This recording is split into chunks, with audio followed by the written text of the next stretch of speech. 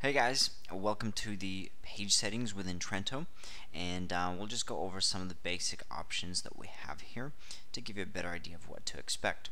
So first of all we start off with the default page layout and if you click here there are three options for us to choose from.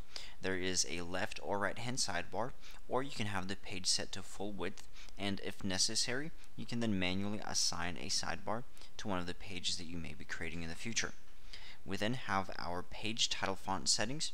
If you click here, we have the different font styling options for you to choose from. And as we scroll further down, we then have our search page options. So first of all, add in your search page title. Here you can choose the search page results layout. As you scroll further down, we have an overview of the selected layout above. And further down, you can make adjustments to that layout, such as elements color, which is basically all of your text color. We can then also adjust the background color. If you want to use a different color, click here and then select a color or type in the color hex code into the designated field. Scrolling further down, you can make adjustments to your title font, choose whether or not you want to display your date, display excerpt, and then also enable the masonry layout. Now for all of these options, you also have the ability to adjust the font styling.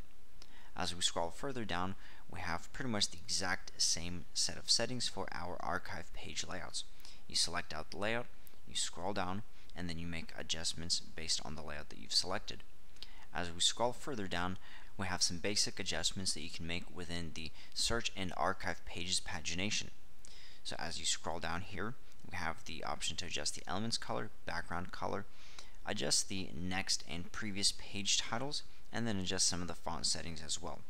Scrolling further down, we have options for our not found page, and here you can make adjustments to the title, description, and link to homepage. So this is just a quick overview of the page settings that we have within the Trento Flotheme area. Thanks for watching this video guys, and I'll see you around later.